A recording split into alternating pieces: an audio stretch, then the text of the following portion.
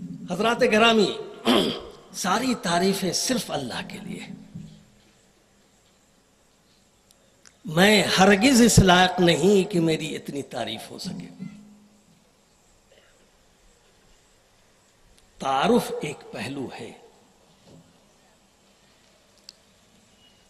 हज़रत अली रज़ी अल्लाह ने यह बात कही कि जब कौम ज़िंदा होती है तो उसके अंदर लचक होती है और जब मुर्दा होती है तो अकड़ होती है। और ये लचक का पहलू है। जहाँ तारुफ की ज़रूरत है, तारीफ़ की ज़रूरत नहीं। तारीफ़ किसी को खतरे में डाल सकता है या तारुफ उससे ऑडियंस के अंदर, सुनने वालों के अंदर एक जज्बा बेदार कर सकता है। मैं अल्लाह की पनाह माँगता हूँ कि मेरे हिस्से की वो तारीफ़ जो किसी नफ्सियाती ख्वाहिश को बढ़ाने की तरफ़ जा रहा हो, अल्लाह महफूज रखे।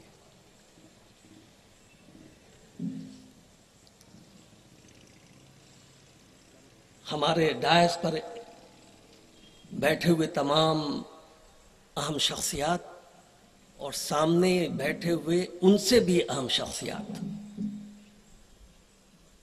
से आज मुझे दो बदू कुछ गुफ्तगु करने का मौका मिल रहा है। ये गुफ्तगु है जो मैं कर रहा हूँ। कोई तकरीर नहीं करने जा रहा। सिर्फ़ एक गुजारिश है कि अगर इल्म का इजाफा हो और अमल में पीछे हो तो गुनाहगार बनेंगे। और इसी फ़र्ज़ को आज निभाना आपका काम है। मेरी जो मालूमात है, हम आपके सामने पेश कर रहे हैं। मैं ये कह सकता हूँ, हालात बहुत खराब हैं, मगर अल्लाह तबारक ताला ने बहुत साफ़ लफ्जों में कहा है, ला तकनतु मिन रहमत न लाओ जबा पे यास की गुफ्तगु कि कुरान में आया है, ला तकनतु। एक मोमिन, मुमकिन नहीं है कि मायूस होकर पीछे कदम हटा ले। मोमिन की शान यह है कि हर चीज़ को चैलेंज के तौर पे कबूल कर ले। जान दी दी उसी की थी। हक तो यह है कि हक अदा न हो सका। ये शान है मोमिन की। और उस शान को बढ़ाने में सबसे बड़ा रोल उस मिल्लत के नौजवानों की होती है। नबी करीम सल्लल्लाहु अलैहि वसल्लम ने दीन पेश किया और नौजवान ने उसे कबूल किया। और कुछ एक दो उनके उम्र उससे ज़्यादा उम्र के थे।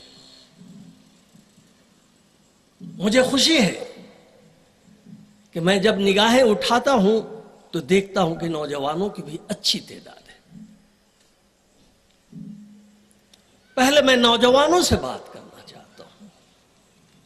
उसके बाद दूसरे पहलू पे आऊँगा। ए मिल्लत के नौजवानों, आप नौजवान सिर्फ़ इसलिए हो कि हालात को आप मोड़ सकते हो, हवा के रुख को बदल सकते हो, पानी के मौज को दूसरी राह दे सकते हो, बशर्ते के अल्लाह वहदहू ला शरीक पर यकीन कामिल हो और उसके आखिरी नबी सल्लल्लाहु अलैहि वसल्लम के उसवा को इख्तियार कर लो। बाकी सब चीज़ें राह अमल है। बहुत सारी मसलकें हैं, बहुत सारी नजरियात हैं। वो अमल का एक ज़रिया है, टकराने का नहीं। जब हम टकराते हैं तो अपनी कुवत को जाया करते हैं। जब हम टकराते हैं तो अपने दुश्मन को मज़बूत करते हैं। जब हम टकराते हैं तो अपने सफों में कमज़ोरी लाते हैं। जबकि अल्लाह ताला ने कहा वाद सबू बेहबल्ला ज़मीन वाला तफर्रकू। हम उसके बिल्कुल बरक्स अमल करते हैं। अल्लाह तबारक ताला ने इसकी कतई तौर पे गारंटी नहीं दी है कि आप मुसलमान हैं और बदअमली करेंगे तो सजा नहीं मिलेगी। मुमकिन नहीं है कि हमारी बदअमली की सजा न मिले। चाहे हम खूब चीख चीख कर ला इलाहा मोहम्मद रसुल्ला कहते रहें। दूसरी बात नौजवानों के लिए। हर जमाने के अंदर एक खसूसियात होती है।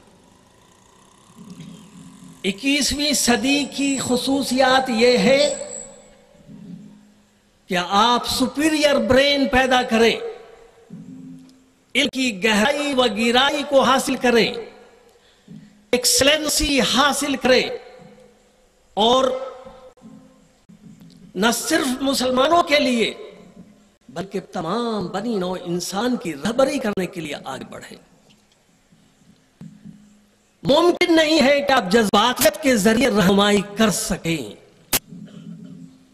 मगर मुमकिन है अच्छे जज्बा, अच्छी तालीम, अच्छी समझ, अच्छे फहम और नबी करीम सल्लल्लाहु अलैहि वसल्लम के इस हदीस की रोशनी में इतकू मिन फिरासत मोमिन। बेनूरुल्लाह मोमिन के फरासत से डरो, क्योंकि वो अल्लाह की रोशनी में देखता है।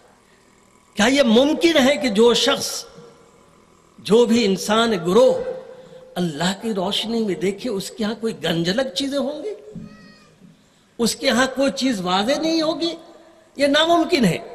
तो इसका मतलब यह है कि हमने अपनी वो सिफात अल्लाह की रोशनी में देखने की पैदा नहीं की है।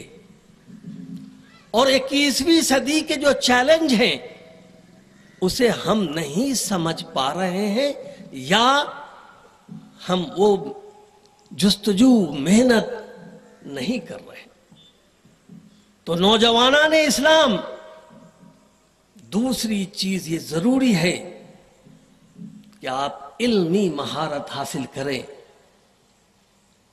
जब मैं इल्म की बात करता